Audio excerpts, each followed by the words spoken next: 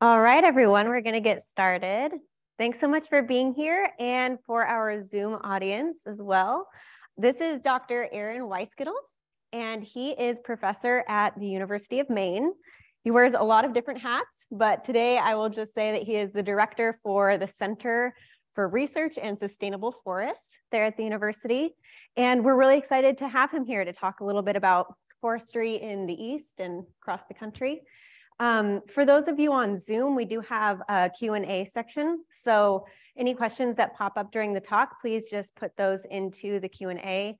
And if you have any other issues or chat related things, just put those in the chat so that we can kind of keep those separate. And I'll uh, turn it over to Aaron. Thank you.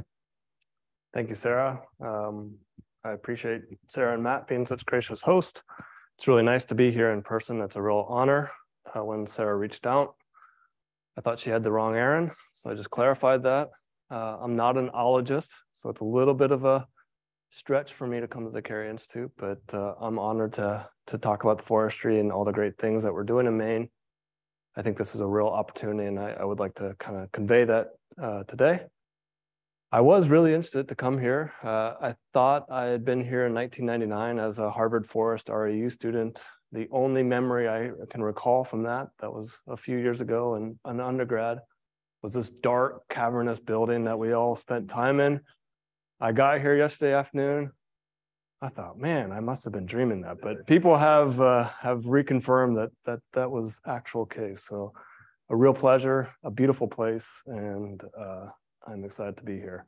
So, what I'd like to talk about today, uh, and I realize the seminar format has kind of changed a little bit, so I'll try to keep it interactive and moving quickly, as I'd really like to have your input on this. Um, I've been in New England for well over 14 years now. Um, spent time on the West Coast. I'm from the Midwest. Uh, I think given all the issues that we're talking about today, New England is one of the few places that we can do it all and do it all in a sustainable manner. And I'm very proud of that. I'm very excited about what we're doing in Maine, but I think it can be replicated and serve as a model for the rest of the US. So I, I think this is this is really opportune opportune times.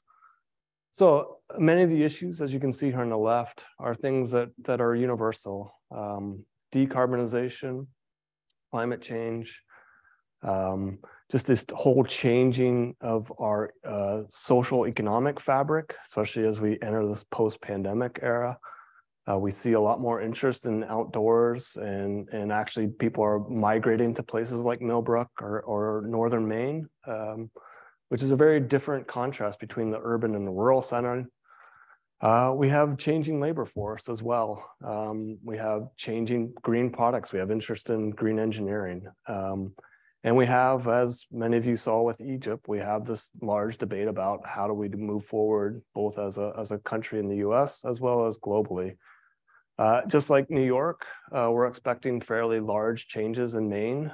Um, as I'll highlight a bit, Maine is kind of a, a chasm of all the ecosystems since we run from a coastal environment to very high uplands. Like New York, we're transitional as well. We have many species at that northern southern fringe. And so where you'll see the direct impacts of climate change is where those species are, are kind of already at their uh, bioclimatic uh, extremes. Uh, so we're expecting warmer, which we've seen obviously today, December, uh, well, probably almost in the 50s, sunny not the type of December that even when I got here that was uh, uncommon, no snow on the ground. Um, and so a big part of this, although we focus on the growing season, it's, it's these changing winters that I think are an exciting topic to, to think about. We're also expecting to get wetter. And as we saw with the, the rain over the last couple days, that's not always a snow. It's, it's these uh, rain or snow events or or uh, just heavy heavy rainfalls, which I think have important implications for the ecosystems that we manage.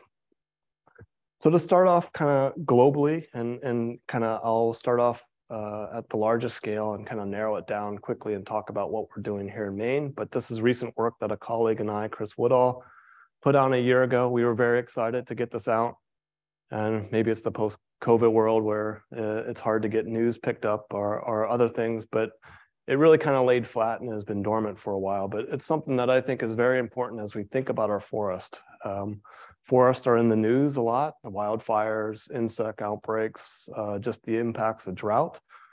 But I think, as I was talking with Sarah, I think nationally, we're kind of gone through this land conversion, uh, particularly here in New England, where our forests are starting to reach that biological age where they will start to self thin and you'll see natural mortality. And so, what this graph is here showing is we're using FIA data uh, from across the US. We use relative density, which is just like a, a measure of carrying capacity. So, uh, where are the forests in terms of their current density? to how many trees could be there biologically after accounting for things like forest type, uh, climate, and all the other factors. So this is basically time one, which is 1999 to, to roughly 2010. So a lot of blue. This is not a political map. Uh, so blue is less dense. Usually as we think about uh, blue, a relative density of a 0.3, 0.25, kind of a young maturing forest, uh, still growing into that stem exclusion stage, a lot of growth, a lot of stems there. Uh, and then as they reach this kind of 0.5 to 0.55, they begin to self-thin and mortality starts to accelerate as they're crowding in the resources that become limited. And so you can see that a good portion of the eastern US has suddenly now kind of reached that tipping point. So I think without even talking about climate change or management strategies, our forests are naturally increasing in density and are kind of at this threshold that I think the next decade or so we'll, we'll see that play out. I will say, interesting enough, uh, if we zoom in and look at this again, the kind of the sweet spot for forests is a relative density of about 0.35.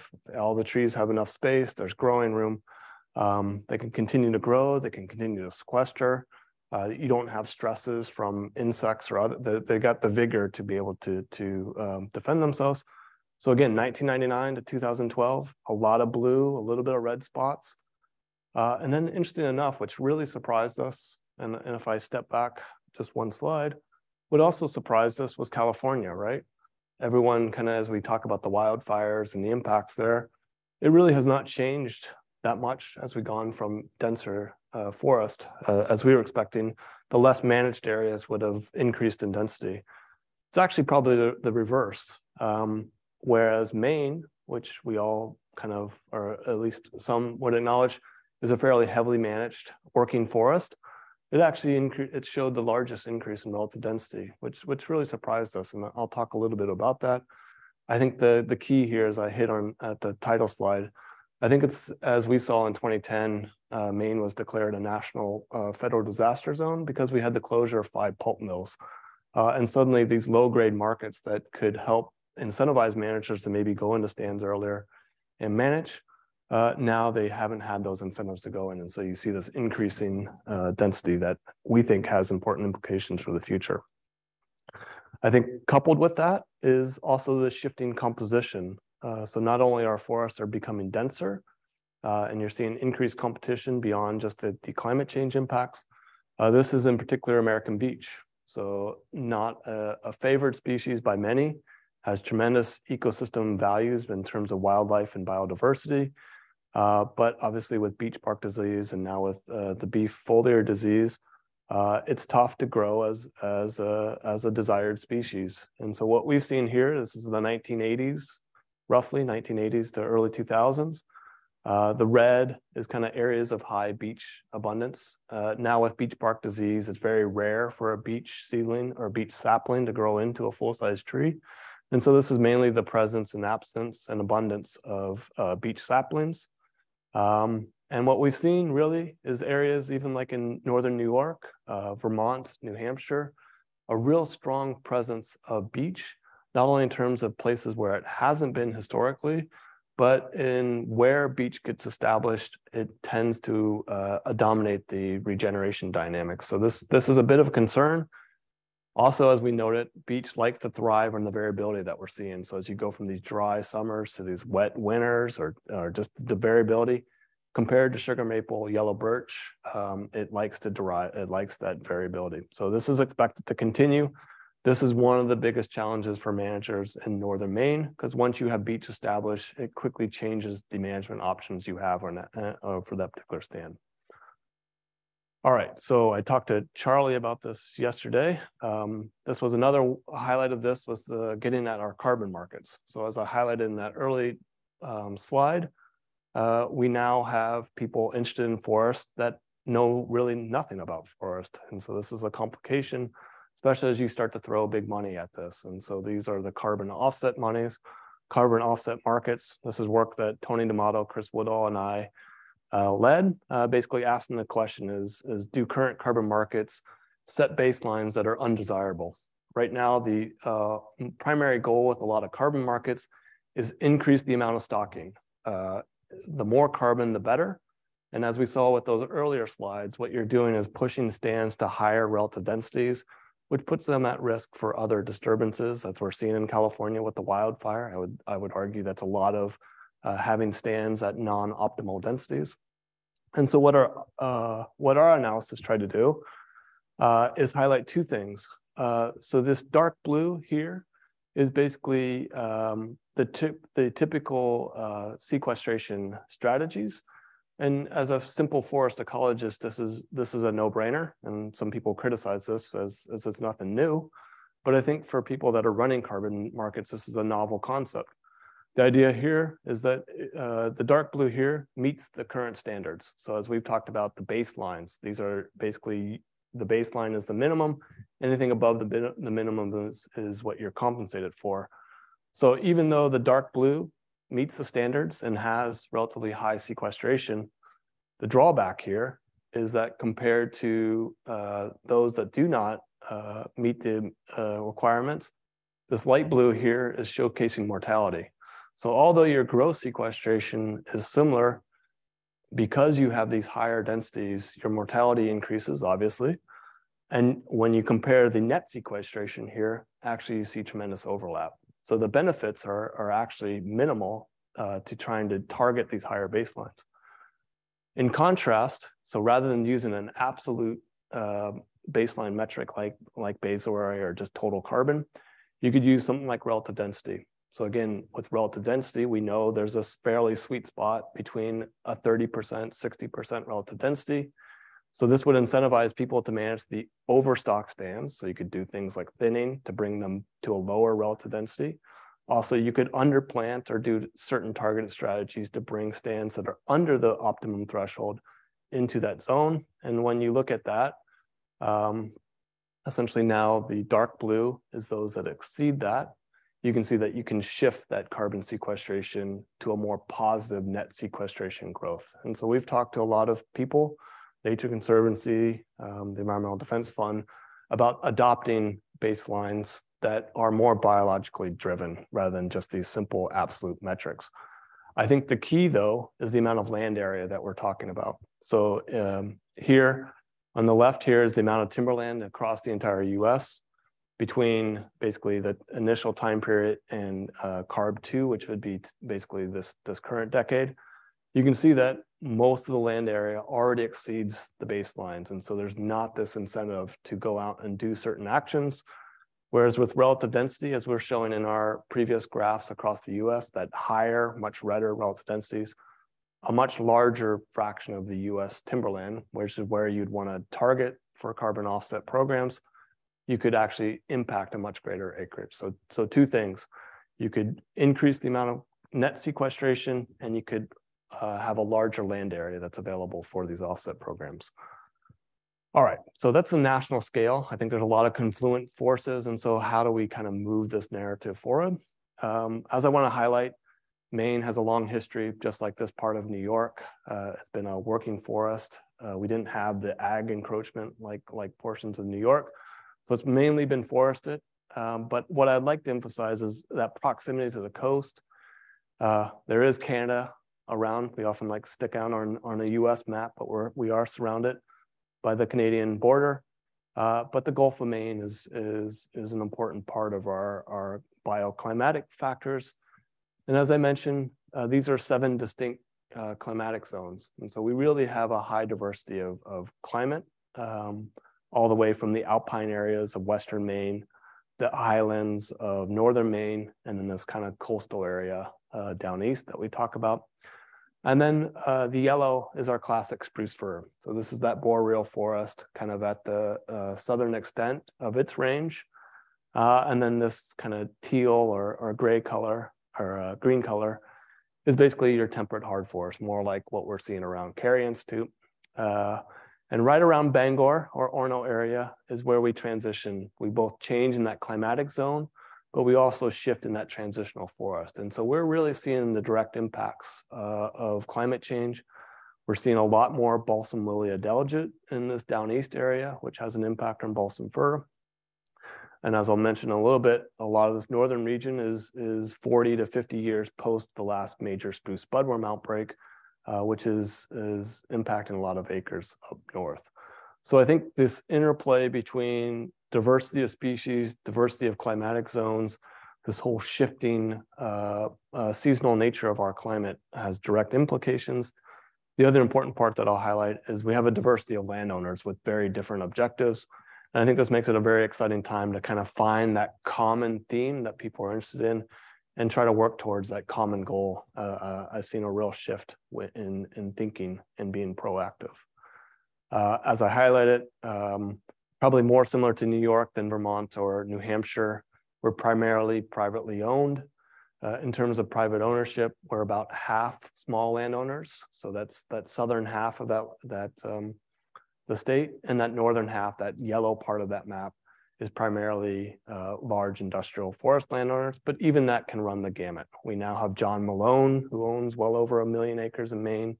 Uh, the Nature Conservancy owns well over a half a million acres. The Appalachian Mountain Club owns well over about 150,000 acres.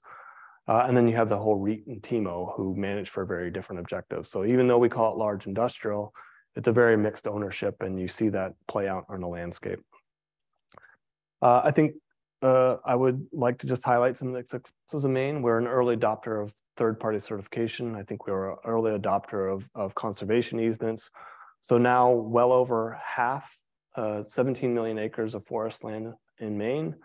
About 12 million of that is timberlands. Uh, so you got 10 million acres that are now third party certified, uh, well over three decades of certification.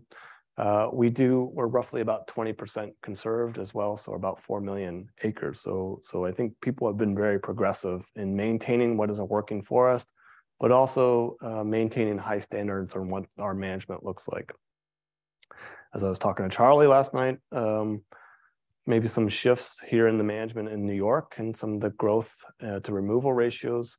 For many of our forest types, whether it be uh, privately owned or not, uh, we're well above that, that one threshold, uh, and we're actually seeing excess growth, which, as highlighted earlier, might be one of the reasons that we have that relative density at such high uh, values as, as our pulp markets declined uh, people did not were able to to uh, kind of uh, capture that growth.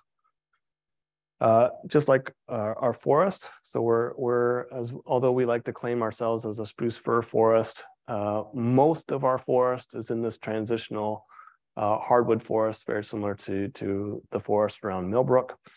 and that's also reflected in our harvested volume. So hardwoods make up about 40, 45% of our standing volume. They still make up about 46% of our harvested volume. And I think there's a lot of innovative uses that, that the University of Maine is, is now focused on. And I would say our harvest volume, although we're, we're, we're still a federal disaster zone, our harvest has remained relatively constant. And, and what we've seen is a shift in the industry. So even though we've kind of made the news and, and there's all this disaster of one pulp mill closing versus another, uh, wood is still being harvested and being utilized uh, within the state. I think because of that, as I've highlighted, these are our, our harvest volumes. Uh, we haven't declined as dramatically as we've seen in other regions. And I think one of that is because our markets remain relatively stable. So this is pricing. Uh, even though the markets fluctuate and there's dynamics, as we've seen with, with lumber throughout the entire US, these have remain relatively constant and landowners can make strategic investments knowing that those markets will likely likely be here as they go forward. And I, I, would say I'll get into this a little bit more, but our future wood supply is very positive. And so there's a lot of external uh, interest in moving to Maine, in particular our softwood abundance because of that post spruce budworm outbreak in the 70s and 80s. we have a lot of forests that are now maturing and are operationally uh, thriving in terms of, of potential. That's scattered throughout the state. Uh, we do have an age class distribution that I think is related to the budworm outbreak. But this is a lot of what people are asking about is, is building new facilities. As you know, with any investment, we're not talking about 10 million, 20 million dollars investment. These are these are often 100 to 200 million dollar investments. And so uh, having a long-term supply of wood and being able to capture that supply and make sure that that's available, not in the short term, but also in the long term is an important strategic investment. However, I'd like to mention just, I don't know if it's probably not made the radar here because of, of lack of spruce budworm, but as I mentioned, Maine is bordered by the three province, and we have a really interesting large landscape experiment playing out right now with spruce budworm. For the last decade, kind of this Gaspé Bay area of, of northern Quebec and along the, the St. John, uh, there's been a very heavy infestation of spruce budworm. I would say at its peak, we're talking well over 15 million acres that have been defoliated by spruce budworm. Uh, they've been impacted by fires now because of the drier summer, and you got a lot of dead and dying trees. Um, and this is pretty heavy defoliation, even despite being 10 years into their, their outbreak. So there's a lot of this black spruce boreal forest that is just prime for, for budworm. In contrast, New Brunswick, um, right here, is doing a what's called an early invention strategy. So they've invested heavily in technology in terms of both remote sensing as well as the, the ability to apply uh, uh, BT, a natural uh, occurring uh, uh, insecticide, uh, and do early targeted spraying. So they're, they're 15 years. So despite the dynamics that are happening in Quebec, they've had a few hotspots, but they've aggressively kept them minimized and what you see is, is they, they can actually not detect any populations right now. Interesting, the wind patterns all change how the budworm moves, and the winds have been pushing them further north, but it's only a matter of time before essentially the winds shift, and now we have hotspots in Maine. And so the question now with Maine landowners, are they going to take an early invention strategy like New Brunswick, which takes investment, it takes cooperation across landowners, it's relatively easy in New Brunswick when you have one large landowner, basically the province itself, whereas Quebec has basically let the budworm play out in its natural dynamic. And is really actually is, is they treat it well over 1.5 million acres uh, this past summer uh, in an attempt to try to catch up. But I would say the cat's already out of the bag and, you're not going to catch up to this scale. So just like what we saw in British Columbia with the mountain pine beetle, uh, this completely changes the dynamic of the Quebec provinces and their forest management planning as you've had this tremendous devastation. Uh, uh, I was just talking to Charlie. He he saw one of my favorite farm mill or uh, sawmills up in in northern Maine. a crazy sawmill, one man operation, doing high quality northern white cedar up in the in in northern Maine. So even though we've had these closures, uh, we have a diversity of markets and that helps, helps keeps prices stable. It helps make uh, new investment strong. And I think we're seeing a diverse use of our, of our forest products. So despite the headlines, despite the designation as a federal disaster zone, uh, I see move uh, wood still moving and, and wood being processed, what to me is I view as an opportunity. All right, to transition a bit, so the title of the slide was the University of Center, University of Maine Center for Research on Sustainable Forest, uh, the tools, technology, and science for tomorrow's forest. Uh, this was founded in 2006. Um, I won't explain university politics or, or how we arrange ourselves, but it's a research center. So it's very different than an academic unit. Our mission is primarily to bring people together, very much like the Cary Institute, to collaborate do large scale research that has direct economic impact, not only within Maine, but throughout the, the broader region. Uh, I've been director for the last six years. I obviously didn't plan on a, a two and a half year pandemic, um, but it's been new opportunities. And so what I'll try to highlight is some of the features of all of this. So we still stick to the land grant mission, research, education, outreach, and we focus on kind of four thematic areas. Sensors, satellite surveys, so this is the integration of biophysical scientists with, with human dimensions. Um, we do a lot of uh, stakeholder engagement. That's one of the things I'm most proud of is we talk to everyone in Maine and beyond about needs, opportunities, pinch points, and we try to find solution-based research. Uh, we also do a lot of professional training. So it's that knowledge to action. Um, to how do we translate science into to actual practice? Um, and we also do a lot of future forecasting, as we know that's what drives policy decisions as well as investment as well.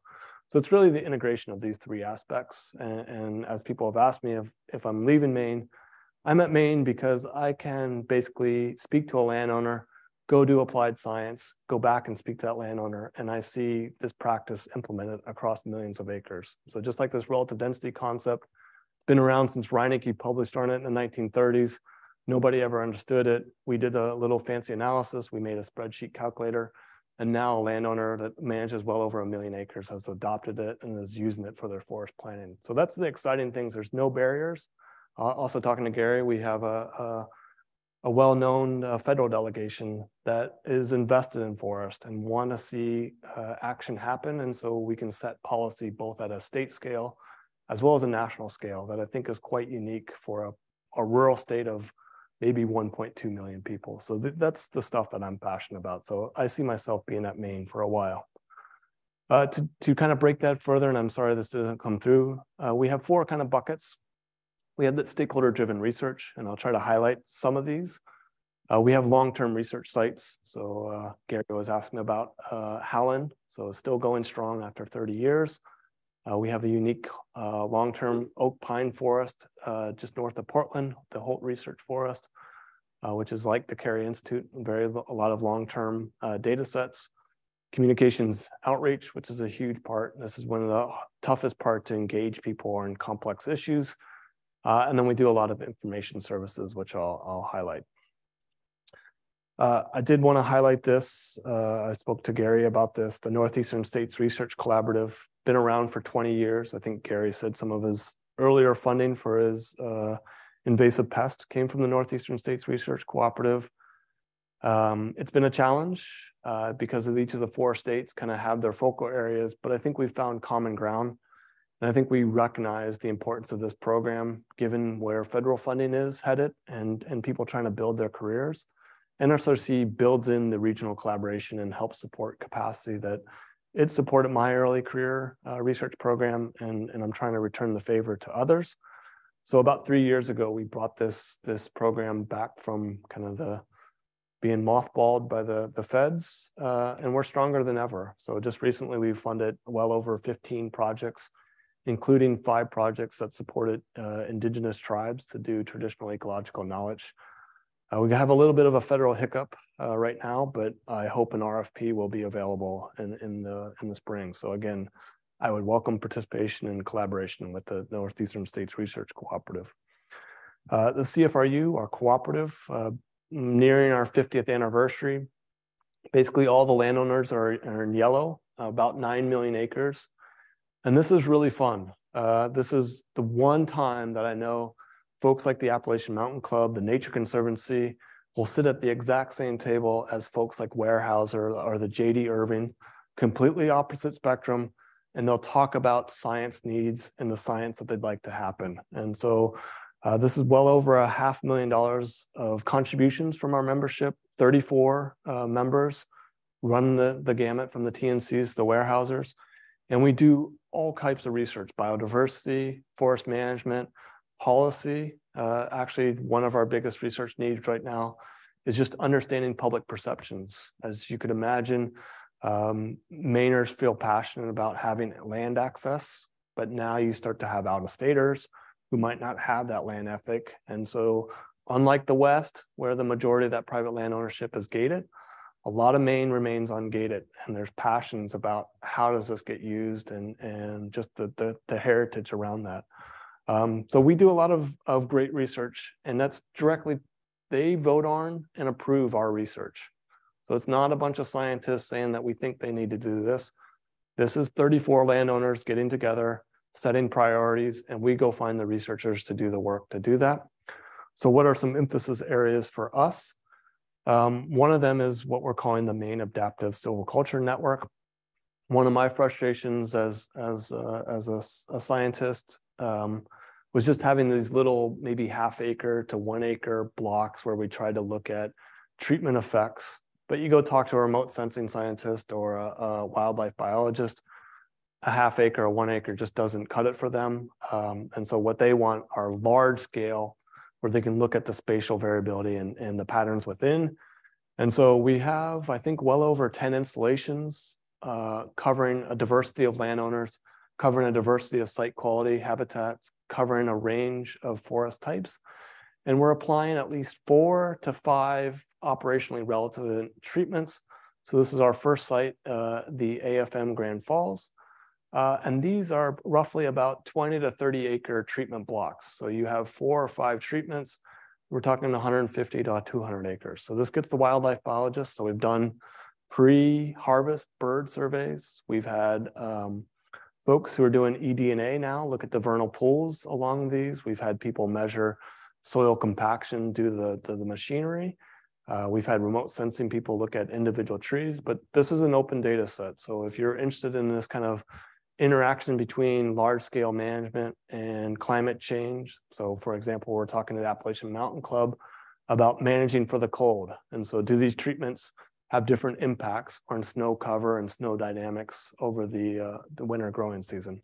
So this is an open, open area. Um, our intent was to build the baseline, get these installed, collect basic measurements, but welcome it up to the science community to come and what they represent is the good, the bad, and the ugly of forest management in Maine. So what we're trying to do is obviously a delayed harvest where we, we um, let the forest go, which is an important part of this whole pro-forestation movement coming out of Southern New England, that, that the best thing we can do for forests is let them alone and let them grow. That's kind of being carried into the carbon offset markets as we see with NCX and other entities that, that want this delayed harvesting.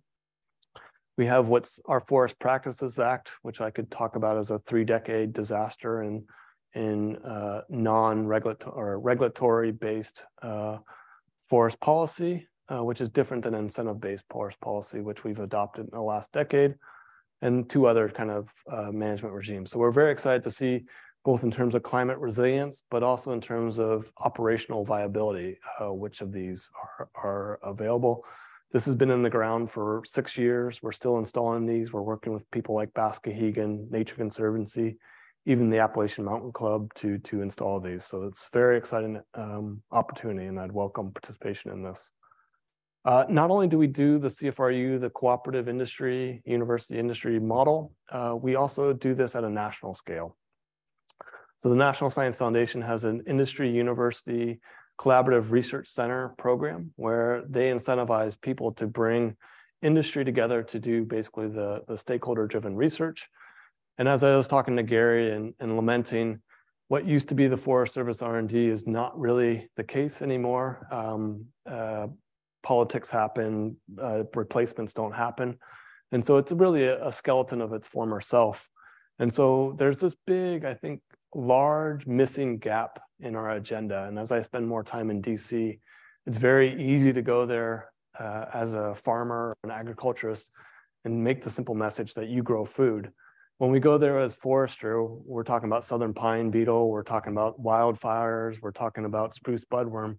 It's very hard to get a compelling narrative together. But this is the opportunities I see with carbon and ecosystem services. We can talk about the benefits of managed, of managed forest, and so I see the Center for Advanced Forestry Systems, which is a consortium of seven universities throughout the uh, United States, as well as some of the larger landowners like Weyerhaeuser, Rayonier, Manulife, uh, well over 60 different organizations across the university that come together, talk about research priorities, talk about needs, and talk about opportunities. And so I, I think this dynamic of the CFRU continuing to do the on-the-ground studies that's relevant to places like New England, but then couching that into a broader narrative around the national uh, a national agenda. And I think carbon, wildfire, other opportunities really really make that an opportune time to do that. That's, that's something I'm very passionate about. It's amazing what happens when you bring people into the same room and they have these conversations. That's one of the things that I think the pandemic taught us. There's lots of great things you can do over Zoom, but having conversations and, and dynamic dialogues really helps move the needle a few other things because I really want to save time for questions. Um, one unique thing that that we did very early on, uh, you might have known that our governor, Governor Janet Mills, uh, really progressive, uh, just got reelected. Uh, one of the first things she did when she took office in 2018 uh, was to set up a Maine Climate Council. Uh, she brought together well over 100 scientists um, to tackle this complex issue. And what she wanted uh, within two years was a science-based uh, climate action plan. And I will say that despite the pandemic, we have delivered that. And I think Maine is a true role, true role model for other states to to to, uh, to follow. My frustrations, obviously, I'm biased. I'm a terrestrial person. I like forest. Um, but uh, if you've ever been to Maine, what drives the state's agenda are two things. You can probably guess them: lobsters and blueberries. Um, so if you're not affiliated with a, a, blueberry farm or a lobsterman, it's hard to get your narrative across. So even though we're the most forested state, uh, our forest industry has well over a eight and a half billion dollar contribution, 5% of the GDP, double what agriculture or marine has. Uh, we don't get the attention, particularly in the press or within Augusta, our state capital, that the blueberry folks and the lobby or the lobstermen do. But when we start to talk about climate change and carbon, uh, we want to get this point across. Uh, so this was the first attempt to do a detailed carbon budget for the state. This was a group of four of us just sat down around the table. Fortunately, we had uh, Dr. Dan Hayes, who's been uh, part of the state of uh, carbon report SOCCR for the last two years. He's done this at a global scale. Uh, so we actually adopted the SOCCR carbon map. So if you've seen this for the recent SOCCR report, um, we took that framework and we tried to do a deep dive into the carbon budget for the state. So we looked at basically between 2006 and 2016. We tried to do all the pools, follow them to where they go. Of course, our blue carbon friends thought, thought we missed pools or, or they were shocked that the scale was not there. But when you got 17 million acres of forest, the big take home is that if you want to talk about carbon sequestration, charging or changing the carbon trajectory, we're not going to go out and plant kelp or actually there's people planting kelp, but we're probably not going to do that at a sustainable scale. We got to talk about our forest. And so this was a very detailed budget. We're, we're working on version two right now. But when you boiled it all down, uh, basically the forest itself was offsetting about 60% of our state's emission. We cheated a little bit. We're a very low populated state, 1.2 million maybe.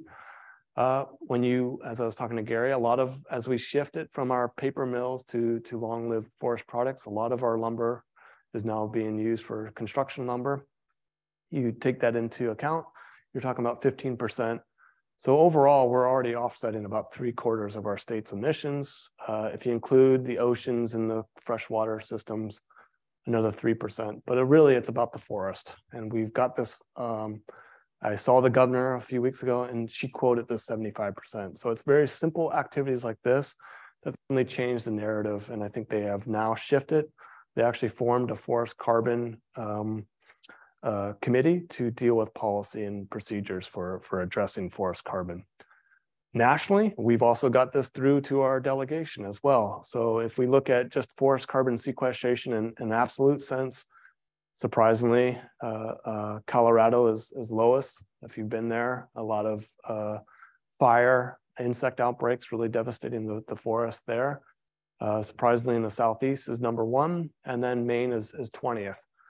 Uh, but when you look at things as a percent greenhouse gas removal by the state, we're 75th percent or 75%. Oregon is roughly about there, maybe 76, 77%, uh, but we're number four in the nation as a percent, which which we've communicated. We believe we can go higher. I think places like Oregon are going to be restricted because of the federal ownership. Um, it's hard to change that kind of trajectory of where that forest is. The wildfires have had an impact as well. But Maine and other parts of New England, we rank pretty high. And I think we can set policy as well as engage our landowners to make this even higher. Uh, so a buzzword now, climate smart management, natural climate solutions. We're very fortunate to have an economist, Adam, um, Adam Daigneault, who has worked very closely with the Nature Conservancy at both a national and a global scale. Uh, but he's brought this mandate here to Maine. And so we just did a, I, I will say all of this is available through our website. So if you want this material, I, uh, this presentation should be available as well, but all the details are, are online we just did extended analysis, like I, I, was telling Gary. So here we are with the forest today, 2022. budworm, climate change, diversity of landowners. The governor asked us, what can we do to take the forest to make Maine carbon neutral within the next 20 years? And so we ran out a lot of different set of, a lot of stories. Uh, obviously, we're not seeing a tremendous amount of land conversion, maybe in southern Maine, uh, so not the pressures that probably Millbrook is seeing. Uh, TNC has invested heavily in this afforestation, so going to old ag fields and planting. It's hard when you're 89% forested, you're not going to move the needle. Uh, and also, what these different colors are is the break even carbon price that you would need to kind of uh, promote or accelerate these activities. So, planting trees, growing trees, getting people to plant them is a very expensive activity. So, you're taking about a, a carbon price of about 50 uh, CO2 equivalent, which now most carbon markets may be 20 to 25, so half of that price. Uh, and you don't have that big of a magnitude. Actually, uh, the biggest impact and at a price that I think is fairly affordable at, at, about a 20 to 25 is what Mac Hunter and Bob Seymour talked about well over 30 years ago, this idea of the triad. So the triad is the idea that you, you have a working landscape that has a diversity of uses, three uses, intensive management, which is your lower fraction, your probably your better sites that can support growth. Uh, and we're seeing this with some of our landowners in Maine as they think about where to make their strategic investments. So put your investment not across your entire ownership, but in the areas that you can recoup that benefit. The majority of our landscape, maybe 50 to 70%, is in kind of this, what we would say the working forest, the matrix, um, so kind of like the landscape here that we're seeing in, in uh, New York.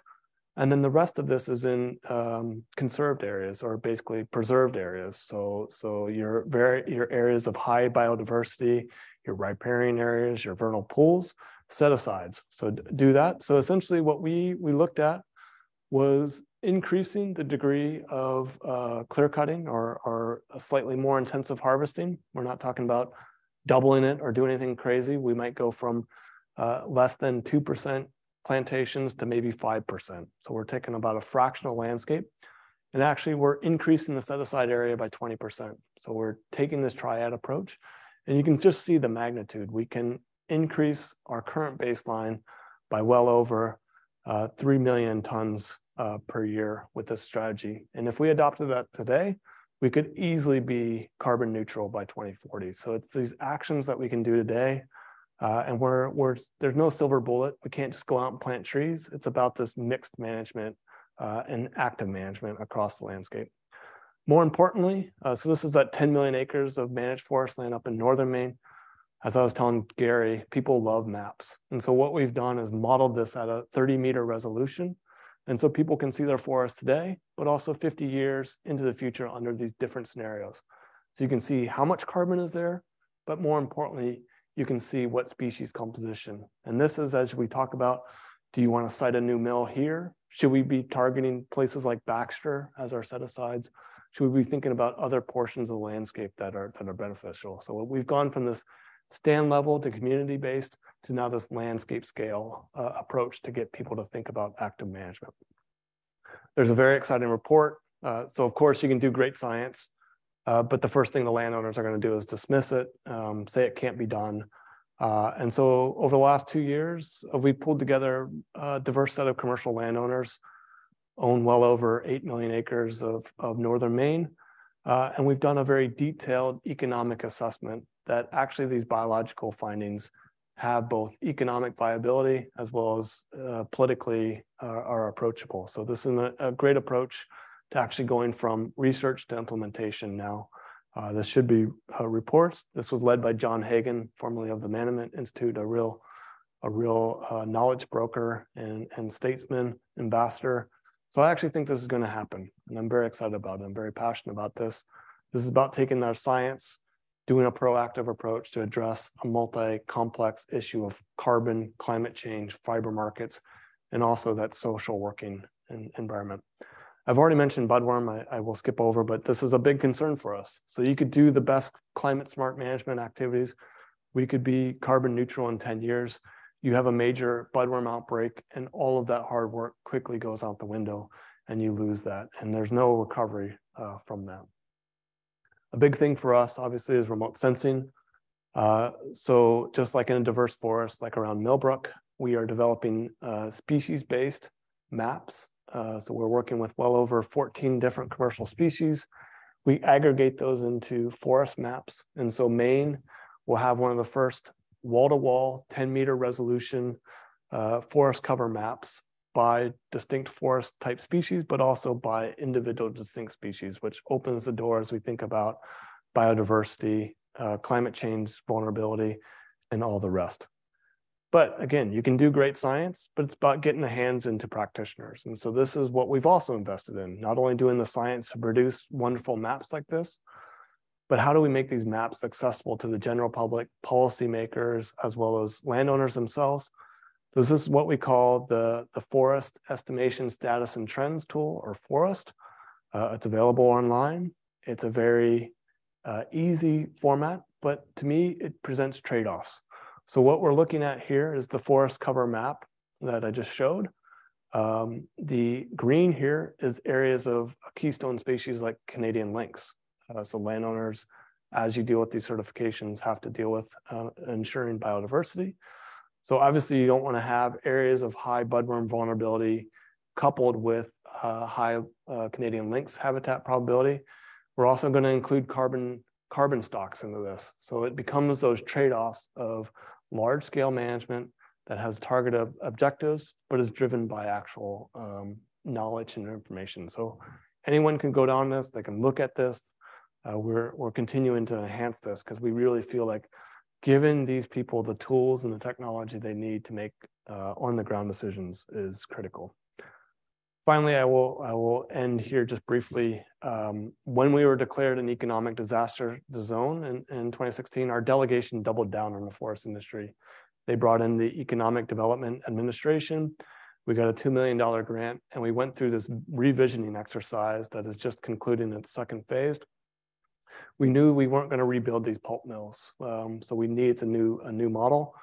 And not only, as I said, it's about bringing people into the same room. So this is one of the first time that loggers, truckers, mill owners, landowners all got into the same room rather than fighting across the hall in Augusta over policy measures. They had to come together and face a crisis. And so this strategic planning process called For Maine has led to a lot of documents that basically have branded us that we can grow. We can go from an eight to eight and a half billion dollar industry to now well over 12 billion industry through making strategic investments in research, strategic investment in partners, and also by managing this, the forest as we have done holistically. So as I mentioned to many of you, um, how do you take this into a framework? Uh, so this is kind of where I'm going right now. It's about the integration of these fields. And so um, what we want to do is leverage AI to make more informed decisions. We want to work with our rural communities the, the Bucksports or the former mill towns to make them more resilient and adapt to it. Now, as you go to Northeast Kingdom of, of Vermont, you have mountain bike villages that, that are thriving. So how can we adopt that in Maine? There's a lot of interest in green materials. So this, this whole idea of cellulosic nanomaterials. And the biggest issue right now is not actually the forest resource or the forest technologies or forest markets it's actually the workforce to implement the management as well as, as that. So what we want to do is cultivate both within our urban and, and rural communities, this environmental kind of ethic that I'm seeing in the younger generation is how do you actually make a career from that? So we're something called the green collar pathways. So hopefully this uh, leaves some time for question. I went a little bit longer than I liked, but hopefully I've indicated that it's a highly unique resource. I think well managed. I think it's poised for a real opportunity as we think about these complex issues. Obviously, the biggest things as we think about is markets, natural disturbances like uh, budworm or, or insects, even fire now with the, the droughts that are being talked about, the changing environmental conditions as we as we talk about, and most importantly, skilled labor, not only the people that can drive the trucks to do the harvesting, but also the layout, the management, uh, as well as setting the policy that, that, that helps drive this whole framework. So again, I really appreciate the opportunity to be here. I appreciate uh, inviting the Mainer to come down and, and talk about our state. And I'd welcome any thoughts or input that you might have at this point. So thank you.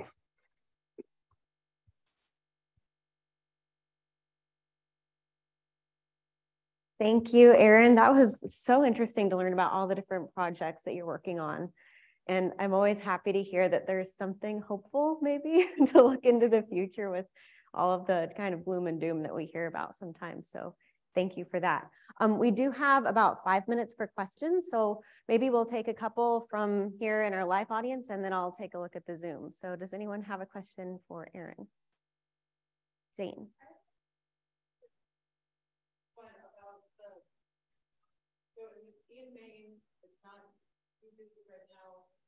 what is limiting it from being able to do it because that you don't have the at the right age for it or, or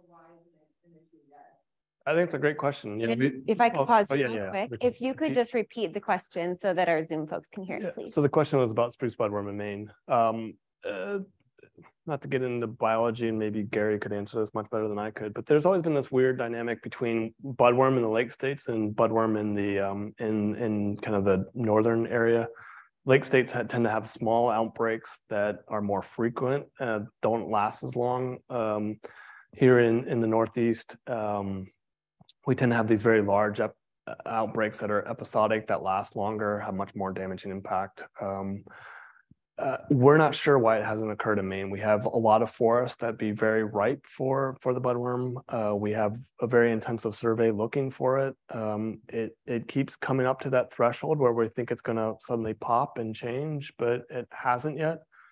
Um, so people have been looking at birds. We've actually seen a shift in the bird comp, uh, bird community composition that that you get a lot more people that eat the budworm. Uh, I do think there's a lot of support for this early intervention strategy. If you can keep population below that epidemic uh, or that kind of outbreak status, you, you can manage it better. Uh, but I really think it's just a shift in the windfall. That we've been very fortunate that when um, when when they're going through the larval stage, that they tend to shift northward rather than southward. Um, actually, the Quebecers believe that, and Maine is hopeful that this could be the last Maine outbreak, because uh, actually, our uh, one drawback or one advantage of warmer winters is they don't reach that 20 that 20 degree minus 20 C that they need to overwinter. We actually got warmer winters, so they, they actually don't complete their life cycle. Uh, so so we're hopeful that if we can escape this last, this last outbreak, that that that's the last of the budworm in in Maine. So one of our Zoom questions, actually, if I may, is also about spruce budworm. So while we're on that train, the question is, are there non-target consequences for spraying for spruce budworm? Yeah, that's been a very common program. Um, the, the New Brunswick people, I'm going to forget their uh, Healthy Forest Partnership, as I think the group, um, the Canadian uh, government and the province of New Brunswick have invested heavily, $50 million uh, five-year project to, to address budworm. Uh, and a big part of that has not only been the science of the application about detecting budworm, but also uh, communicating to the public. Uh, so this is BT, this is application of BT, widely used by organic farmers, um, very specific to, to budworm itself. They only spray once, um, very during a very short window, a period when the budworm is active. So these are very targeted applications, non-toxic chemical, uh, we've not been able to detect any long-term environmental issues. Very different than the 70s, as you could imagine. A lot of what drove Maine's forest policy were the heavy spray programs, uh, as well as the large clear cuts that resulted from the salvage harvesting. Um, I would say those were a small environmental impact to what we've seen of the three to four decades of, I would say, um, highly regulatory forest policy that has changed management across 17 million acres. So the clear cuts, uh, the application of insecticides, I agree, had short-term environmental damages, but the long-term play on of that on the landscape is at a scale that is not even comparable. But yeah, I think, and the positive thing is they had in New Brunswick, they sprayed intensively for a few years. And again, these were only the hot spots. It wasn't just broad scale application now they can can't even keep their sprayers active. So uh, they're actually dormant and, and don't know what to do with the excess BT that they have, or even the the time that they have devoted to the airplanes. So so it's it's been a highly successful program. Any other questions in our in-person audience? Gary. Early on, you were mentioning the increase in beech uh, in the forest. Um, and U.S. foresters don't seem to be able to use beech. European foresters use European beech all the time. But what is it about American beech that, that doesn't allow the use? And is there some effort to try to use this resource that's coming us from? Yeah, no, uh, we the, could repeat. Yep, the question was the application and utilization of American beech in contrast to European beech. Uh, and this was something I spoke with Charlie Canham last night about. Um, yeah, it's a wonderful wood. It's beautiful. Um, it, it's it's got a lot of great properties. Um, we haven't seen as much interest in it. I don't know why. Um, I think one of the challenges is just managing it itself. Um, uh, as you can imagine, it's kind of like this uh, poking the the bee's nest. Once you poke uh, uh, um, a beech thicket, you suddenly get ten times the amount of beech that you ever had.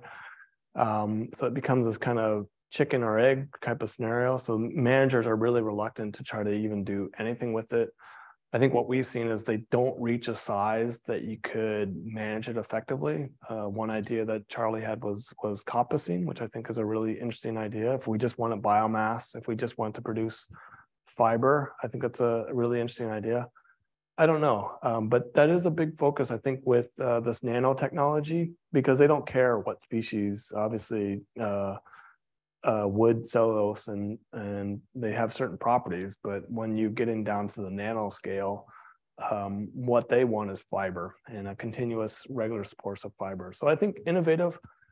That has been communicated that the biggest need that we need is innovative uses of low grade fiber. And I think that is one innovative use, high application. Uh, I'm actually surprised, uh, Sappi, um, they they just expanded their mill in Portland. They know that paper and, paper associated products are on their way out. And they have been highly innovative in the amount of materials that they've developed and, and applications. They are very much in the high end thing. So uh, we have a, a call scheduled with Sappi soon, so I, I would like to ask them about Beech. If anybody was working on it, it would be Sappi, and I, I would think that's their whole game is the value add and high end stuff. So I, I think given what Charlie was talking about, the uses of rayon, uh, that that's that's a beautiful use of beech, which I would highly support. Do we have time for another question? Hopefully. Okay, well, we'll do maybe one more. Um, considering how much we were you were talking about carbon today. Um, this question is, are there any active forest carbon markets in Maine? And if so, does the state oversee those markets? Uh, yeah, um, right now there's not currently. There's, I believe, one in Vermont that's been targeted primarily to private landowners. That's also what we've tried. The main market is try to target the small landowners because obviously they don't have the scale to to enter a traditional carbon offset market. Uh, as you can imagine, that becomes highly political and, and complicated. Uh, so I, I, know Vermont has tried to develop kind of like um, similar to what Finland has of, of like cooperatives so that people pull acreage and that you're able to, to get a, a benefit to that. That was NCX's model was working with specific landowners, which we saw does not uh, particularly, uh, uh, doesn't work at an economic scale. Um, that has been an identified need and there's people working on it, but there is no current active market. There are uh, several landowners that have sold to the traditional markets. And I would say that some of the bigger landowners in Maine are now kicking the tires of, of carbon offset markets. I think the key that people should recognize is you can go through the verification product or the, the process, but you don't have to sell your credits. So I think a lot of people right now are hedging. And so they are going through the process, they're getting credits issued, but are not selling the credits. Okay. So kind of a related question to that is considering how strong the pro-forestation and afforestation narrative is right now, how do you counter that when you talk to landowners about carbon? It's really scary. It's it's amazing how quickly the pro-forestation and everyone is familiar with this. This is an idea coming from uh, Yale. Um, uh, it is really captured southern New England. Um, obviously, we see it play out in Massachusetts. Um, there's places in Vermont and New Hampshire. It's made it a little bit in in Portland, Maine. Um, I think we have to talk about the benefits of management managed forest, and I think we've been talking about that for two decades, but but it's abstract, right? Um, people don't relate to forest in different ways. And so that makes it very hard to tell a compelling narrative. But with carbon, climate change, people get it. And so now you're talking about a natural climate solution. You're talking about the tremendous benefits that forests offer. So I think we got to talk about it in a larger narrative. I think the other flip side of it is is how can someone from New Haven go talk to someone in Millinocket and tell them it's over, you should just move? It's it's about the human element of that as well. Uh, and then we've actually seen a resurgence in Millinocket. There's people now with the pandemic that are moving to a former mill town, doesn't even have the mill there present, because they want that lifestyle of being surrounded by forest and the outdoor opportunities that those operate.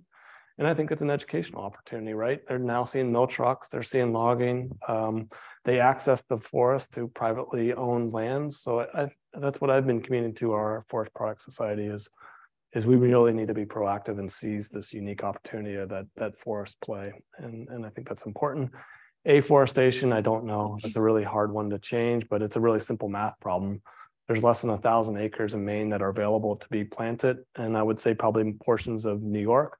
So it's about the bang for buck and, and invest in strategies that are going to have the impact, but are also cost effective. Well, thank you. I think that's just about all the time we have for today.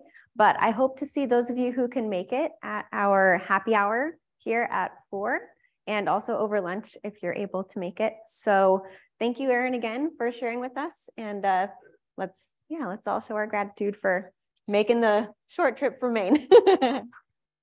thank you.